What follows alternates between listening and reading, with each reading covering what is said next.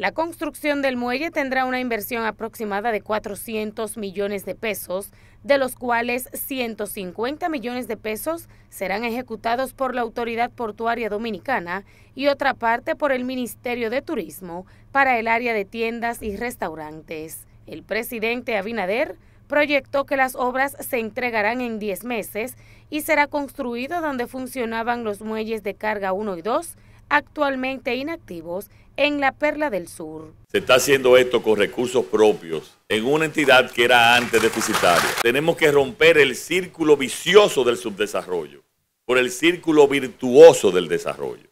Podrán recibir grandes cruceros, hasta dos embarcaciones de forma simultánea, por donde descenderán miles de cruceristas, quienes arribarán a las costas de un país que los va a recibir con los brazos abiertos Posteriormente, el mandatario dio la primera palada para la construcción del aeropuerto doméstico El Granero del Sur en San Juan, que entraría en operación el tercer trimestre del 2024. ¿Cómo es posible que no existiera aquí un aeropuerto, un aeropuerto doméstico, como le estamos llamando, para poder fumigar toda esta producción agrícola que estamos incentivando?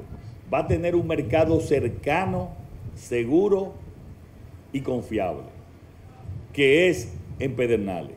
El jefe de Estado inauguró también el primer parque de zona franca industrial de San Juan de la Maguana, que con sus dos nuevas naves generará 600 empleos directos, de los cuales 300 iniciarán de forma inmediata.